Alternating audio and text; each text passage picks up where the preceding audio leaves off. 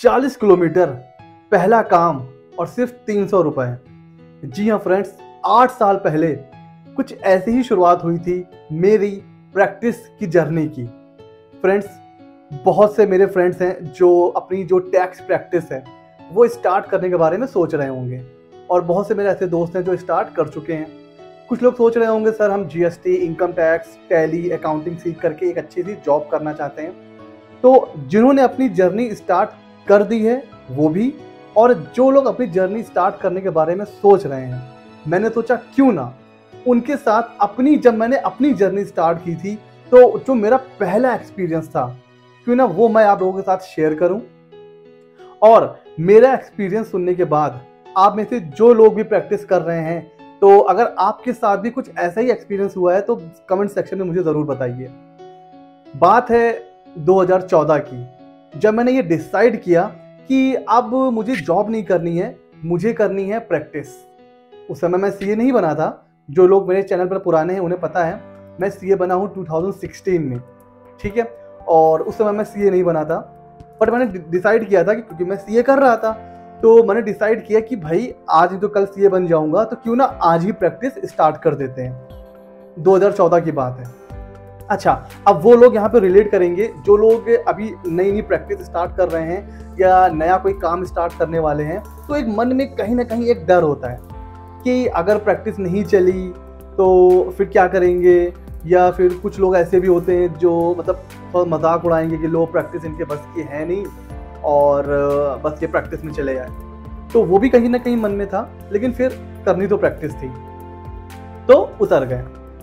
मैंने जो अपनी प्रैक्टिस की स्टार्ट करी थी, वो मैं थे, मेरे साथ तीन जो मेरे और जो मेरे प्रोफेशनल कलीग्स थे, उनके साथ मिलकर मैंने अपनी प्रैक्टिस की स्टार्ट करी थी।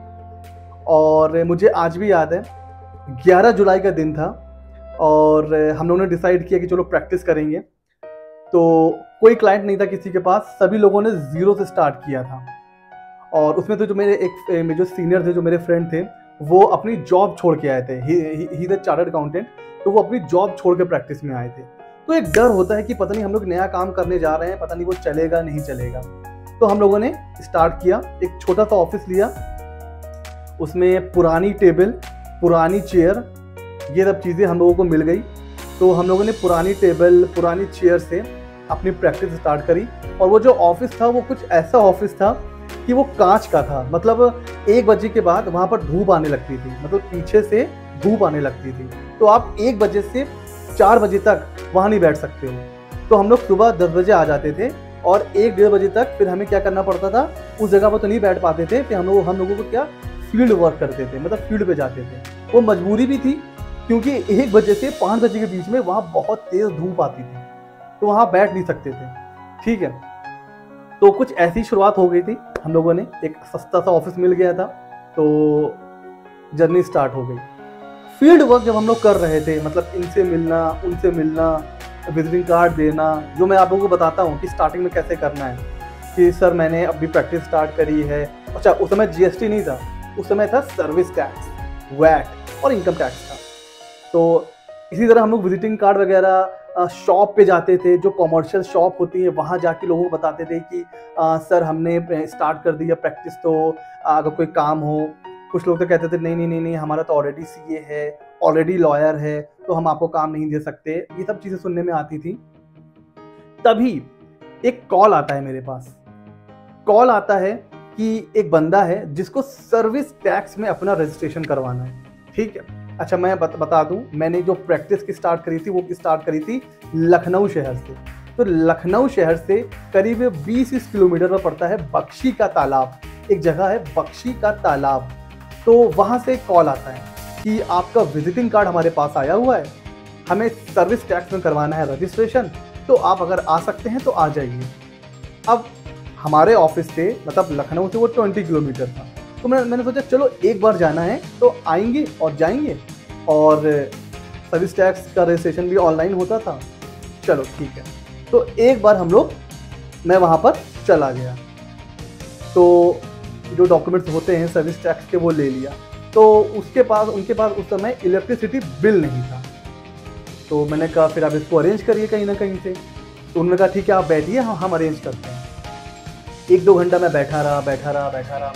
फिर वो लौट के आते हैं कहते हैं यार वो अरेंज नहीं हो पाया है आप एक काम करिए अगर आ सकते हैं तो कल या परसों आइए मैं आपको कॉल करूँगा। अब मुझे बड़ा वो लगा कि यार अब 20 किलोमीटर मैं आया हूँ मैं फिर 20 किलोमीटर जाऊँगा अराउंड 40 किलोमीटर उस समय मेरे पास एक स्कूटी हुआ करती थी आ, हीरो होंडा की प्लेजर वो स्कूटी थी मेरे पास मैं उसी से आता जाता था। खैर पहला क्लाइंट था तो मैंने कहा ठीक है मैं आ जाऊँगा। अच्छा नेक्स्ट डे मैंने कॉल किया सर बिल हुआ, उसने कहा, नहीं, अभी नहीं हुआ है। मैंने कहा, चलो ठीक है। दो दिन बीते, तीन दिन बीते, पाँच दिन बीते। मुझे लगा कि अब वो काम नहीं करवाएगा। क्योंकि वो मेरा पहला क्लाइंट था, मुझे लगा, हो सकता है कन्विंस करने में मुझसे कोई गलती हो गई हो। पता नहीं, वो सोच रहा होगा, नया लड़का है, क्या काम करेगा, क्या काम नहीं करेगा। तो हो सकता है मुझे काम ना मिले। एक हफ़्ता बीत गया। मैंने कॉल किया, बंदे ने कॉल भी नहीं उठाया। मैंने कहा, लग रहा है क्लाइंट गया। मैंने कहा, पहला क्लाइंट नसीब में है ही नहीं। कुछ दिनों के बाद दो तीन दिन के बाद सामने से कॉल आया कि वो बिल का अरेंजमेंट हो गया है, आप आ जाओ। मैंने कहा, चलो। एक एक्साइटमेंट होता है कि पहला क्लाइंट बनने वाला है। फिर 20 किलोमीटर में गया। डॉक्यूमेंट्स लिए। ठीक है, मुझे लगा, चलो मैं फ़ीस बताऊँगा। तो उस समय जो जनरल फ़ीस चल रही थी सर्विस टैक्स की। 1500 से 2000 लोग चार्ज करते थे। ठीक है, जिस फॉर्म में मैंने ट्रेनिंग करी है, वहाँ पे ऐसा था कि 1500 2000 ढाई हज़ार। तो मैंने सोचा, चलो यार थोड़ा सा मिनिमम चार्ज कर लेते हैं। पहला क्लाइंट है, मैंने कहा पंद्रह सौ रुपये उसने कहा अच्छा पंद्रह सौ तो आप बहुत ज़्यादा बता रहे हैं, ऐसा है, वैसा है। जैसे कि नॉर्मली होता है, ठीक है? जो लोग आप लोग प्रैक्टिस कर रहे हो, मुझे ज़रूर बताना। कभी क्लाइंट ने आपके साथ नेगोशिएशन किया है। हंड्रेड परसेंट किया होगा। इरिटेशन बहुत होती है, लेकिन क्या करें? ये प्रैक्टिस का पहला रूल है। अच्छा फिर क्या था? अब मैंने कहा बारह कहने कहा बारह बारह सौ रुपये लीजिए। बहुत मुश्किल से माना वो बारह सौ पे। मैंने कहा, ठीक है, बारह सौ पे डन मैंने कहा, पैसा तो दे। पर मनी मन मैंने सोचा कि अब मैं जा रहा हूँ तो पैसा तो दीजिए। बट उसने कहा, जब काम हो जाएगा, तब मैं दूँगा। मैंने कहा, चलो, अपनी जेब से लगाते हैं। अच्छा उनकी जो, वो, जो एरिया था, वो रेंट पे था। तो रेंट एग्रीमेंट भी मुझे ही बनाना था। मैंने कहा, चलो, इसी में से बना लेता हूँ।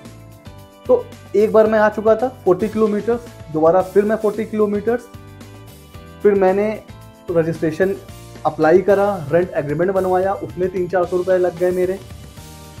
फाइनली रजिस्ट्रेशन हो गया।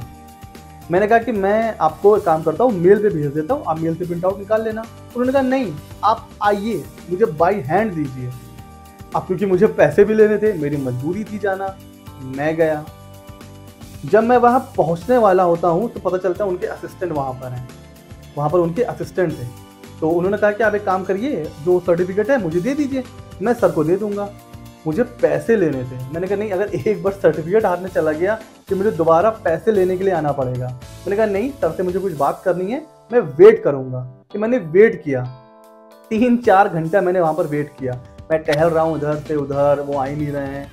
मुझे लगा था उनकी नीयत थी कि भैया काम हो जाए, पैसा देते रहेंगे। खैर, मैं भी ढीठ, मैं भी वहाँ डटा रहा। चार, साढ़े चार, बंदा आया पाँच बजे तक के आसपास वो आ गया। क्या लगा रहे सर सॉरी मैंने आपको इंतज़ार करवाया वेट करवाया। मैंने कहा, कोई बात नहीं, ये रहा आपका रजिस्ट्रेशन और सर, पैसे। बंदे ने बड़ी मुश्किल से जेब से निकाले एक हज़ार रुपये मैंने सर एक हज़ार रुपये कह रहे, अरे, वो दो सौ रुपये अभी तो आप हमसे जुड़े हुए हैं और आगे और भी काम होगा तो दो सौ रुपये के लिए क्या ही वो है, आप हज़ार रुपये देखिए नेक्स्ट टाइम जब आइएगा तो दो सौ रुपये मैं उस और दे दूँगा। उसको भी पता था, बंदा इतनी दूर से आ रहा है, दो सौ रुपये के लिए दोबारा नहीं आएगा। एक बार में सौ, सवा सौ रुपये का पेट्रोल लग जा रहा था। उनको भी पता था कि दो सौ रुपये लेने के लिए आएगा नहीं, और मुझे भी पता था कि दो सौ रुपये मर गए।